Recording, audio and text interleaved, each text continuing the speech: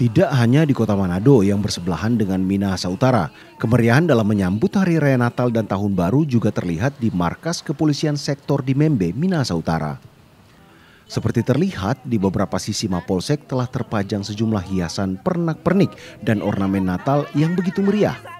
Hal ini memang menjadi satu contoh dalam menjaga toleransi antar umat beragama di Minahasa Utara, khususnya di Polsek di Membe, karena sebagian anggota dan bahkan pimpinan di Polsek di Membe beragama Muslim.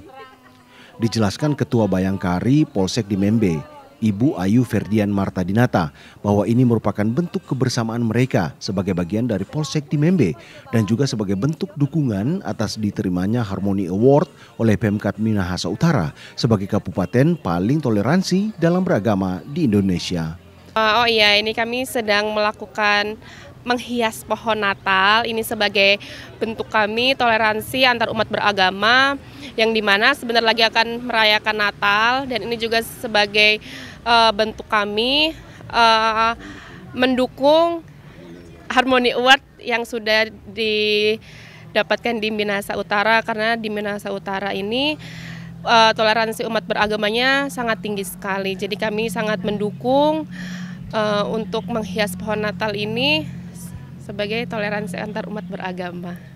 Diharapkan juga agar kedamaian dan toleransi antar umat beragama di Minahasa Utara selalu terjaga saat Natal tiba nanti.